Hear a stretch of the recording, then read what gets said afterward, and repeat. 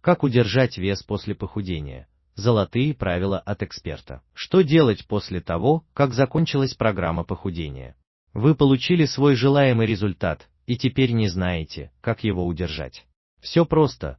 Если вы вернетесь к обычному для себя образу жизни, ничего хорошего не будет, и рано или поздно вы потеряете свой результат.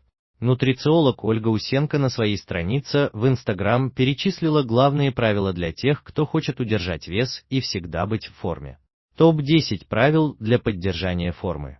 1. Пьем воду 30 мл на кг веса, 2. Едим все с овощами.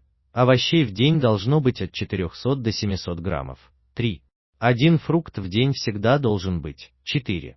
3 четвертых разовый рацион без подъеданий. 5. Активность без нее никуда. Ходите 10 тысяч шагов в день. 6. Разрыв между ужином и завтраком не менее 12 часов. 7. Пицца, бургер и все, что не ПП, должно быть не чаще раза в неделю. 8. Разнообразный рацион из простых продуктов. Чем меньше сложных блюд, тем лучше для пищеварения и тем полноценнее питание. 9. Тренировки 1-2 раза в неделю, хотя бы 10.